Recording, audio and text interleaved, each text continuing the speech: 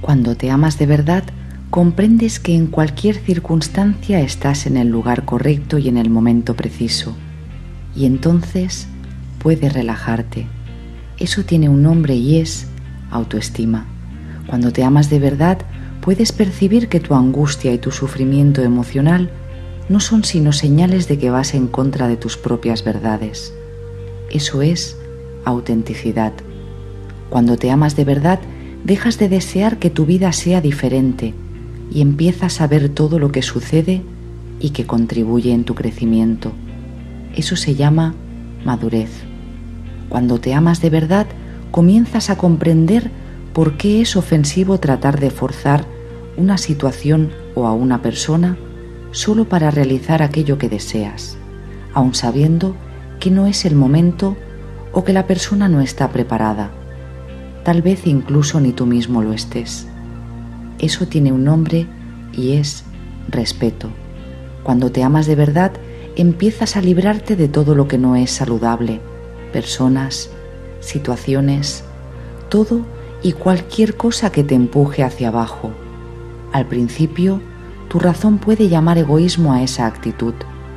Hoy se llama amor hacia ti mismo. Cuando te amas de verdad, dejas de preocuparte por no tener tiempo libre y dejas de hacer grandes planes.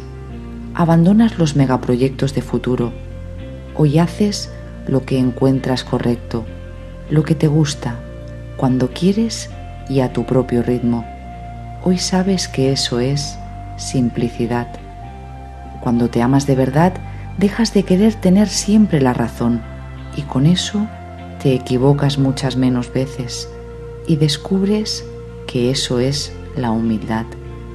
Cuando te amas de verdad, dejas de revivir el pasado y preocuparte por el futuro.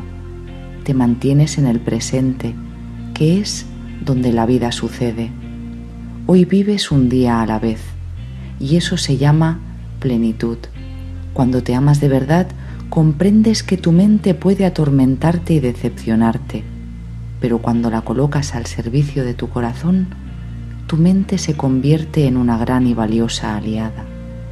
Todo eso es saber vivir.